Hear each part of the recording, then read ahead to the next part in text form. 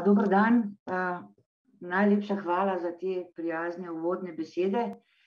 Veseli me, da nas je veliko tukaj iz različnih koncev, škoda sicer, da se ne vidimo v živo, ker bi mogoče še več stvari lahko se pomenili, pa bi morda kar začela s svojo predstavitvijo, bom delila ekran.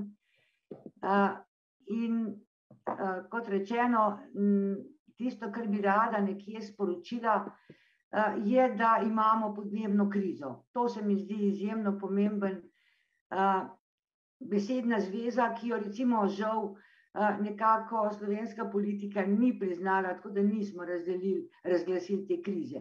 No, ampak ne samo o odzivu, govorila bom tudi o novejših podatkih, tako da moja predstavitev bo nekako imela dva dela, ne. Prva res na temo podnebnih sprememb, druga pa seveda na odziv.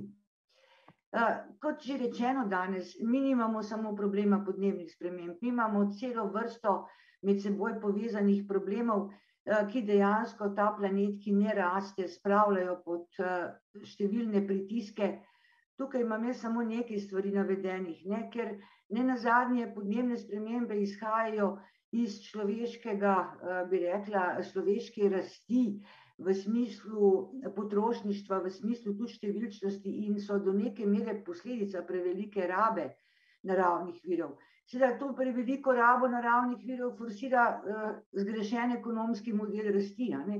In pa seveda ob tem to ne gre brez cene za ekosisteme, in seveda žal, ne, pa vse to ne prinaša blaginje za vse, tako da imamo problem tudi neenakosti prebivalstva ob naraščanju. In potem so tu še presenečenja, zaradi katerih morajo biti družbe odporne, ne, recimo covid, morda je bilo tako presenečenje, ne, ali pa Fukušima, nesreča, ki je v parih urah neko državo spravila na kolena, ne, tako da moramo videti vedno širšo sliko, čeprav bomo govorili danes bolj o podnebju. Poglejte, svet se segreva in to ne govorijo samo meteorološki kazalci ali pa klimatološki, biologi dobro vedo, kakšne spremembe opažamo, oceanografi, koliko se dogaja tudi daleč od naših oči. V kriosferi, ne, ne samo, da izginjajo ledeniki, dramatične stvari se vršijo na morski gladini ali pa na Antarktiki, tako da danes pravzaprav ni dvoma, da smo priča procesu, ki ga je žal sprožil človek. Kako vemo, da ga je sprožil človek? Zato, ker se je naš življenjski slog zaradi prej opisanih, bi rekla, zadev tako močno spremenil, ne, mi smo generacija, ki smo, lahko rečemo, mirno energijsko požrešna in za naš dan, ne, potrebujemo približno en gigadžul energije. Ne, to je trikrat več, kot so jo porabili naši starši, ali pa če se mogoče ozremo še ene dve generaciji nazaj, desetkrat več, ne, ker če gremo skozi ta stolpec, ne, zgoraj, smo veliko bolj mobilni. Veliko več kupujemo, veliko večji potrošniki smo. Imamo večja stanovanja, toplejša stanovanja, imamo dve stanovanji, zeleni del. In celo naši želodci, se zdi, da so se povečali za dvakrat, ker jemo več hrane mesnega izvora in seveda, ker hrano zavržemo, ne, tako da taka potrošnja energije ima svoj odtis. Še posebej, ker trošimo energijo, ki ni primerna ali pa ki ni prava, ne. Naš svet še vedno počiva na premogu, črno, na nafti in na plinu, seveda ob dodatku obnovljivih virov ali pa mogoče jedrske energije, ki ni tako neposredno ogljična. Ampak nekje več kot petinosemdeset procentov naših navad podpira fosilna energija, ne, ki seveda jo uporabljamo še zraven na izrazito primitiven način. Ne, mi tole zažgemo, ne. Pravzaprav jaz vedno rečem, se ne ločimo od naših prednikov, ki so v jamah vrgli nekaj na ogenj, ne, tudi mi vržemo to na ogenj. Kar seveda ima posledico onesnaženje zraka in pa ogljikov dioksid. Ne, tukaj vidimo tudi to eksponentno naraščanje po drugi svetovni vojni, še enkrat poudarjam, na planetu, ki ne raste, ne, zato ne čudi, da smo recimo vsebnost ogljikovega dioksida, ki je glavni vzrok za spremenjeno energijsko bilanco, torej za ogrevanje, pravzaprav v nič geološkega časa spravili za petdeset odstotkov na vzgor. Ta kratek čas, v katerem se je to zgodilo, je seveda tudi izjemno pomemben in ni primerljiv z naravnimi cikli, ki seveda so nastajali zaradi ledenih dob, recimo, ampak so se vrstili na velikostnem redu 100 tisoč let. Ne, mi smo to naredili v 150 letih. Uh, in seveda to ima, kot sem rekla, posledice na energijsko bilanco, ker seveda CO2 absorbira sevanje tal, ga seva nazaj proti tlom, kar pomeni, da dobimo dodatno ogrevanje, ki se seveda odrazi na površju. Ne? In če pogledamo zadnjih sto let, je svet pravzaprav brez izjeme se ogrel, tako globalno kot v Evropi, čeprav recimo vidimo vzorec ogrevanja, ni na vsakem končku sveta uh, enak, ne, je pa seveda zvezan in tukaj le bomo težko, ne, kadarkoli ta trend obrnili nazaj. Konkretno, če nas zanima Slovenija, pogledajte, v leta 61 so bila leta razmeroma hladna, tam nekje do leta 1980. Zadnjih 15 let, ne samo da imamo toplejše razmere, imamo pravzaprav rekord za rekordom. In letošnje leto, ki sredi oktobra še ni končano, lahko že naprej zatrdim, letošnje leto bo rdeče, čeprav je danes zjutraj nekje, celo smo imeli prvo slano.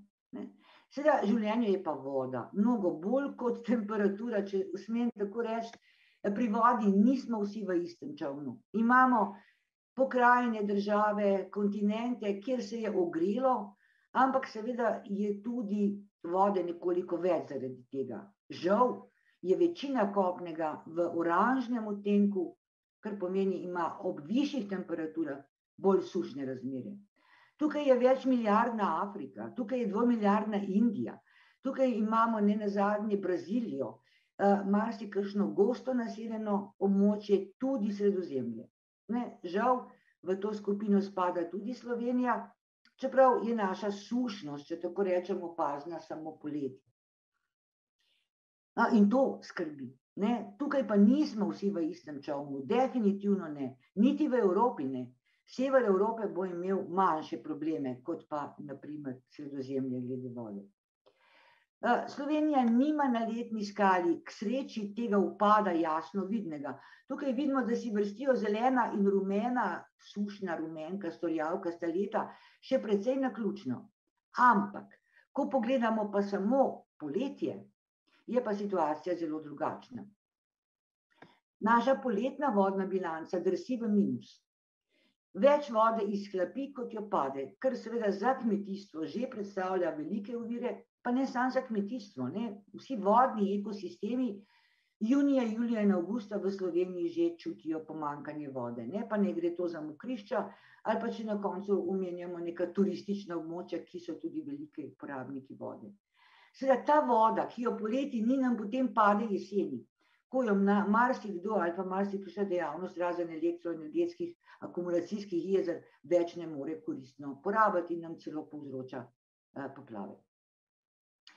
Ne omenjam še naraščanje morske gladine. Ne, Slovenija ima obalo, čeprav malo, seveda smo pa v bližini dežel, ki, ki jih bo to, ta dvig močno prizadel in žal je tudi tukaj le nekako Slovenija v nadpovprečju. Ne, naše Jadransko morje se dviga z hitrostjo približno 5 mm na leto, kar je mogoče manj, ker neke obale Francije ali pa mogoče Atlantske obale, ampak tudi to je problem ki ga ne moremo žal tudi ne več postaviti.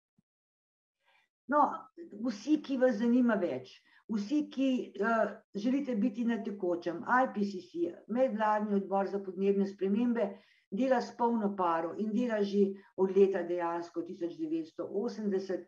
Uh, 6. augusta je bilo izdano prvo od serije tako imenovanih šestih poročil, ki je že javno dostopno na spletu. Uh, z vsemi informacijami, kaj nas čaka. Ne? Če nas ne zanima toliko, kaj je bilo nazaj, mlade seveda zanima, kaj jih pričaka v prihodnem desetletju. Kot rečeno, na tem naslovu je vse, kdor morda ne, eh, eh, ne obvlada angliščine, tudi v drugih UN jezikih je eh, poročilo pripravljeno. No in seveda v tem poročilu je tisto glavno sporočilo, da se bo svet ogreval še naprej tudi v naj, najboljšem primeru, ne, ki bo zahteval od nas velike napore, no, seveda mi to prozaično označimo za neko oznako RCP 2,6 in je predstavljeno na tej spodnjem sliki. Vidimo, da ogrevanje tudi v naj, najboljšem primeru bo preseglo pri nas dve stopinji. Ne. Seveda na severu Evrope celo tri stopinje in več. Ne. Seveda imamo tudi črne scenarije, imamo črne prihodnosti, kjer seveda samo za eno tako številčno oceno lahko ogrevanje na severu Evrope preseže enajst stopinj. Enajst stopinj. Ne, to je razlika med Oslom in Kajrom. Ne. Skratka, tukaj jaz mislim, da tudi biologi bi zelo težko ocenili, kakšne posledice bi to imelo, ne samo na človeka, ampak kar na živi svet. Verjetno je to planet, kjer naša civilizacija uh, počasi izgine. Uh, to je predvsej, bi rekla, uh, žalostna podoba, pa vendar optimistična, ker izbire so. Izbire so, in če recimo samo na kratko pogledamo, kaj nas čaka v Evropi poleti, to je desni panel, kaj na zglede padavin, to se pravi, pardon, prva kolona je decembr, januar, februar, zima, druga kolona temperaturno poletje in potem se ponovi pri padavinah, ob ogrevanju ena pa pol, kar je približno varno, ob ogrevanju dve stopinji, kar predvideva pariški sporazum, kot je napisan zdaj, in seveda v tistem slabem primeru, ne, pri recimo štiri stopinjah ogrevanja. Ampak, če ostanemo optimisti ne, in pogledamo zgornje panele, vidimo, da pravzaprav uh, Slovenija jo odnese dobro, Srednja Evropa tudi, uh, žal te ne moramo reči za Afriko, ne, Severno Afriko, kjer se strahotni problemi z vodo pojavljajo že v najboljšem scenariju.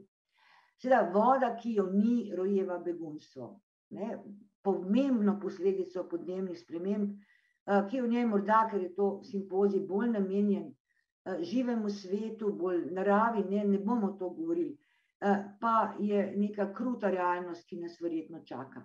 Seveda, najslabši primer postane tudi Evropa sušna in se Slovenija pravzaprav pridruži nekim deželam, ki bojo imele bistveno premalo vode in pa ekstremni dogodki. Ne? Recimo, to je neka projekcija, ki pa ni najslabša.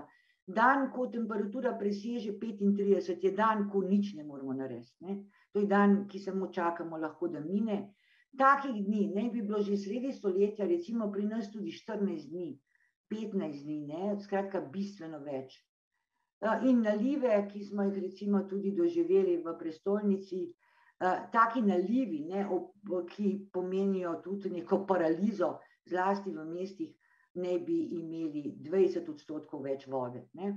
Eh, skratka, to že opažamo, to niso neke prognoze, v katerih si ne znamo predstavljati, kaj pomenijo. Ampak vemo, da nič dobrega. Še posebej ne omenim mesta, ne. urbane sredine, vse, o čemer govorim, občutijo mnogo bolj, ker je okolje že sicer spremenjeno, ne, v smislu, da bolje akumulira toploto in slabše odvaja vodo. Uh, tako da te novice dejansko niso dobre. Danes bomo veliko slišali o tem, kako bojo podnebne spremembe vplivali na življenje. Uh, jaz bi samo tole sliko pokazala. To je slika, ki jo jaz zelo globoko razumem, čeprav prozaično predstavlja gozne ekosisteme danes in v prihodnosti ob podnebnih spremembah, ki nas čakajo. Jaz razumem tole zgornjo sliko, ker se prepletajo številne barve, kot tisto sliko čudovite Slovenije, naše domovine, ki je raznolika, ki ima ne samo gozne tipe različne, ima različne živali, ki v teh gozdovih živijo, ima različne ljudi, ki naseljujejo ta področja. Ti ljudje imajo različno kulturo, različno kulinariko, različne običaje, različne praznike, različne noše, če hočete. To je tisto lepo, ne, kar nas uh, dejansko odlikuje. Ne, pa vendar, če vode ne bo, če bo vroče, gost tega ne zdrži. Ne, in seveda tisto, kar danes poznamo nekako na krasu, na obali, ne, to bo neka nova Slovenija, ki bo mnogo manj zanimiva uh, in verjetno zelo drugačna tudi po svoji sociološki družbeni plati, ne samo potem, da recimo smrekovih gozdov ne bomo imeli več. Ne? Tako da stvari so zelo resne in to so transformacije, ki jih ne želimo še pospeševati. Če strnemo vplive, skratka, ja, bojo fizični in na te nekako smo pripravljeni, ker smo doživeli poplavo, vemo, kaj je suša, vemo, kaj je neurje, ne? čeprav se tega seveda bojimo, ampak imamo vsaj predstavo. Politične spremembe, ki jih bodo prinesle podnebne spremembe, o tem predstave nimamo. Ne, mi ne poznamo vojen za vodo v našem okoliču, ne, ne poznamo politične nestabilnosti, ki nastane, če recimo ni sladkorja, pa se sladkor podraži, kot recimo se lahko zgodi na severu Afrike. Ne? In ne poznamo še okoljskega terorizma, ki bo izšel iz takih razmer. Gospodarstvo ne zdrži sprememb, ki jih opisujem, brez fluktuacije cen, brez podražitev, brez različnih zalog, ne? kar seveda tudi vodi v krize. Migracije sem omenjala, civilna nepokorščina je nekaj, kar že poznamo, ne pa mogoče še par mesecev nazaj nismo poznali, iz razlogov, ki so lahko iracionalni, vendar, verjemite, podnebne spremembe bodo dosti velik povod za taka gibanja. In seveda cela pravna zgodba, ki mora temu slediti, ne naši davki, pravne obveznosti se bodo spreminjale pravzaprav zelo kmalo. Ne? In če to imenujemo integralni vpliv in če ga razumemo z malo mogoče bolj pesimističnimi stvarmi odraslih oseb, ki smo dali že marsikaj v življenju skozi, to skupaj pomeni povečevanje revščine in neenakosti, ki je pa že danes problem. In seveda tisto nujno vprašanje, ali smo v Sloveniji na to pripravljeni, ne? kje imamo mi inštitucije, organe, skupine, znanost ne nazadnje, ki bi na tole zgoraj imela že pripravljena odgovore. Ne? Moje mnenje je, da tega nimamo. Drugi del namenjam odzivu. Ne? Hitro, pametno, sistemsko. Ne? Hitro je nujno, ker seveda ni časa. Mi smo čas zapravili od časa kjotskega sporazuma, 20 let smo gledali v zrak in prelagali probleme na neke druge vlade, na neko drugo generacijo. Ne? Tako da danes moramo to narediti hitro. Ker imamo več problemov hkrati, ki jih moramo rešiti. Imamo problem biodiverzitete, imamo problem preseženih dušikovih mej, o tem mislim, da bo en predavanje o krofu. Ne? Moramo narediti to pametno.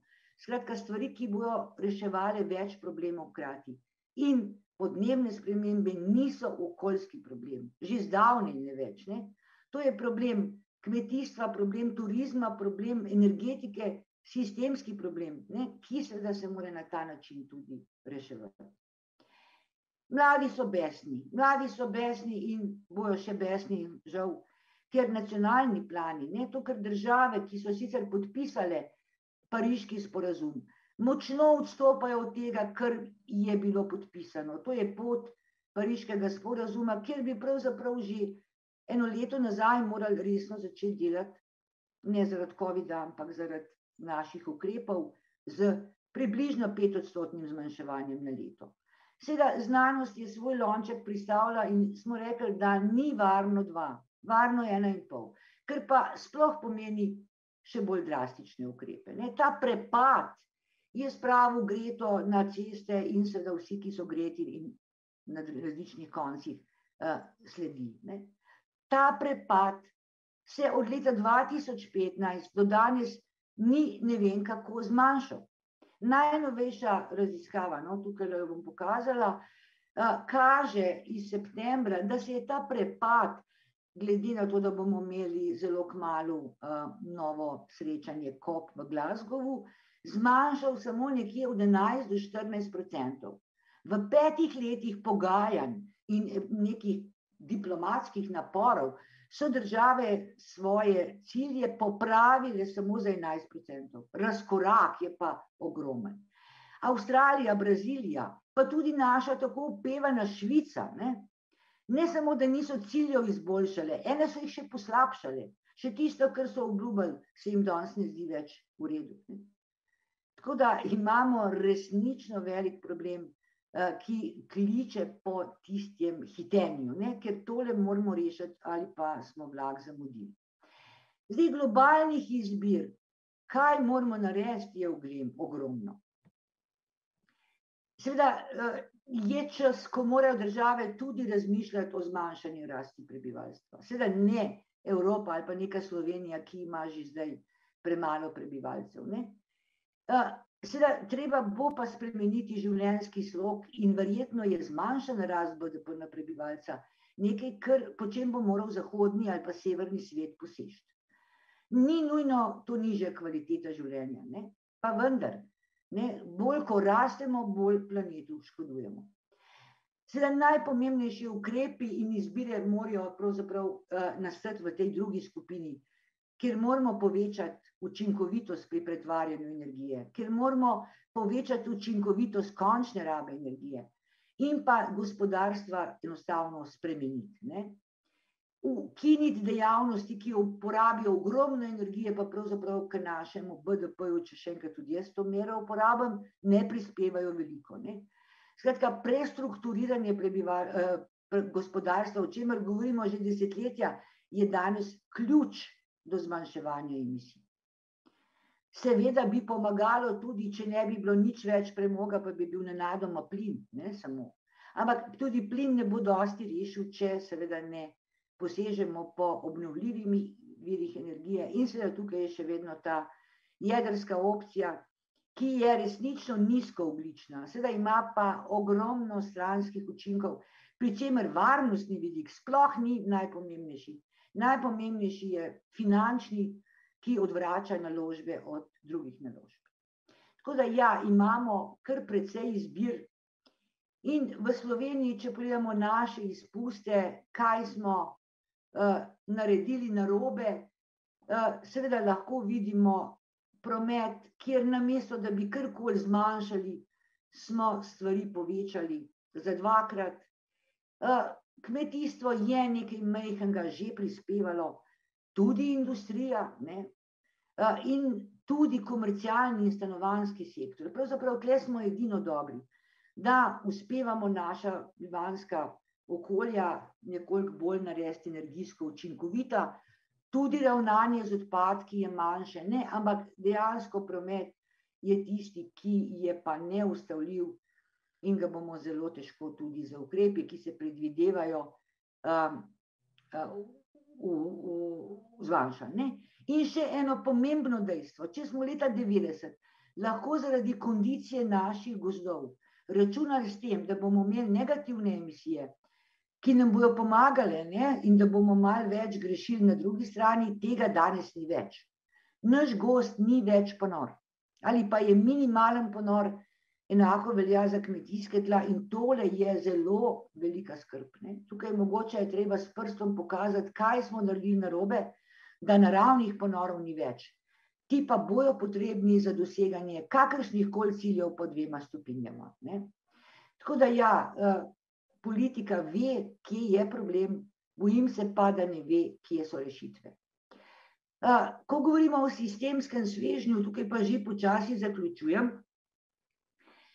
bi prosila vse, ki imajo čas, ki jih zanima, da si ogledajo svežen, pripravljeni na 55.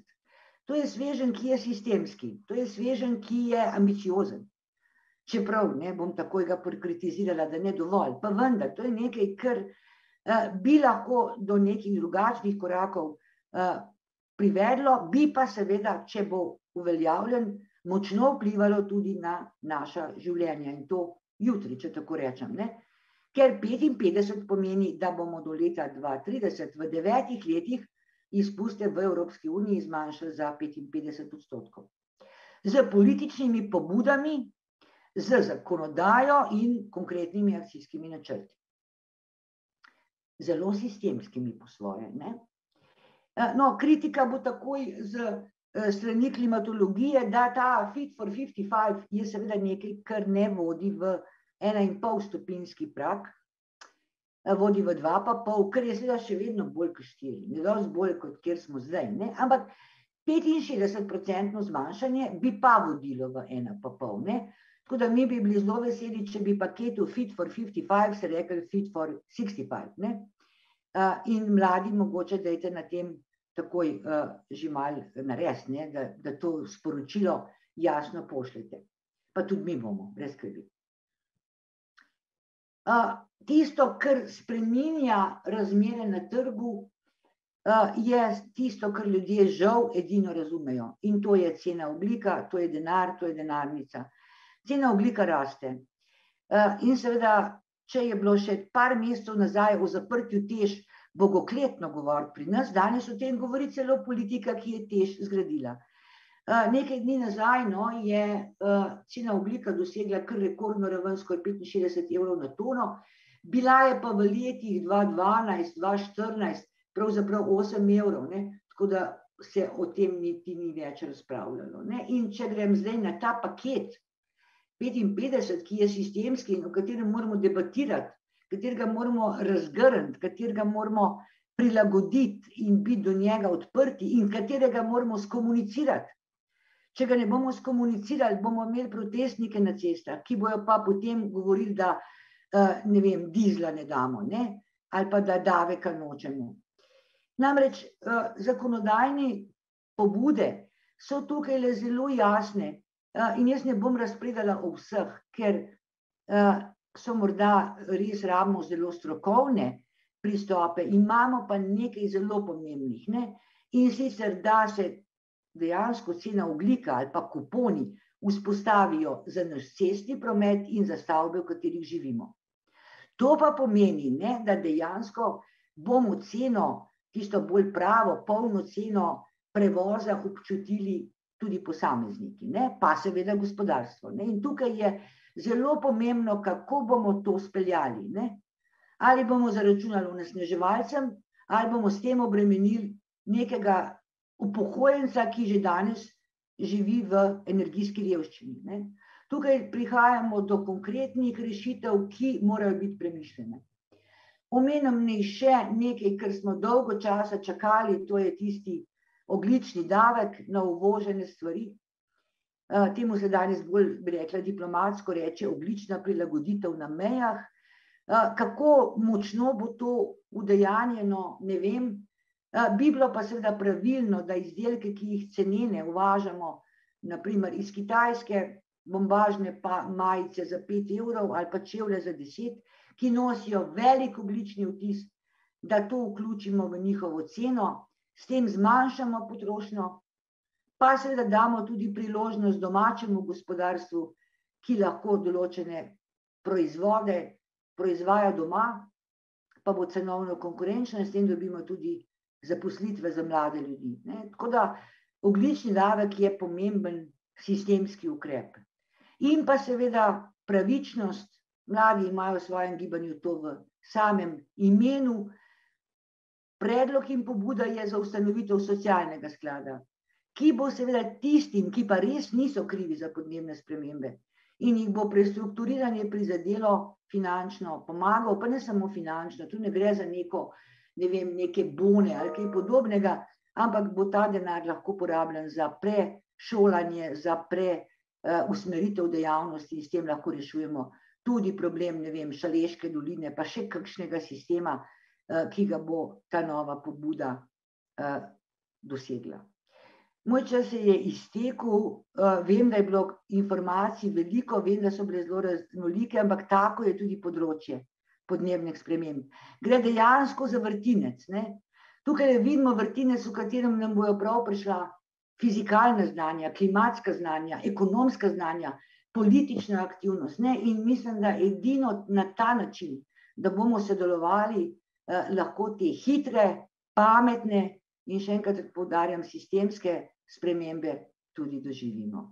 Hvala za pozornost in upam še na kakšno diskusijo, ko bo čas za to.